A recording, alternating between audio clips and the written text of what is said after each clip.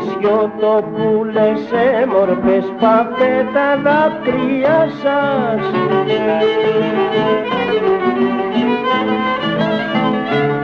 Η νευτεριά σας έφτασε δεν είναι μακριά σας. Η νευτεριά σας έφτασε δεν είναι μακριά σας.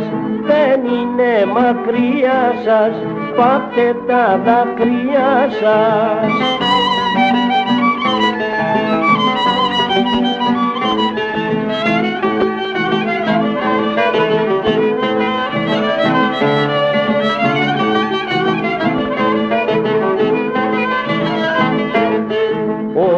τα δωδεκάνησα θα ελευθερωθούνε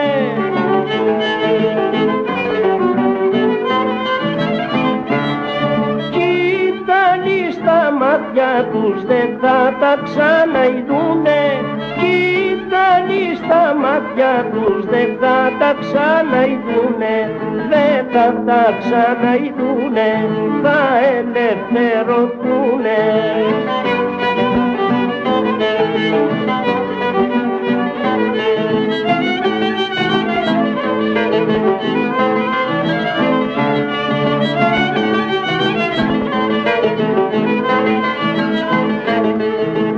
Τώρα θα πολεμήσουμε όλοι μας για την νίκη.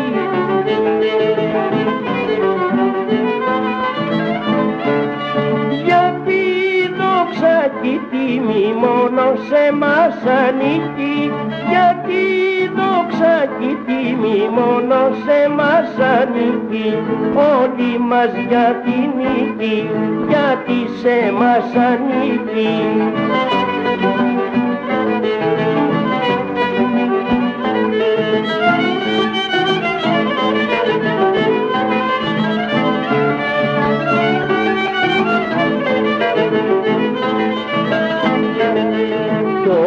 τα δωδεκάνησα θα είναι δικά μας πάλι.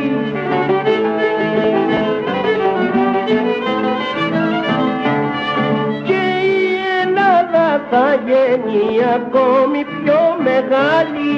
Και η Ελλάδα θα γίνει ακόμη πιο μεγάλη.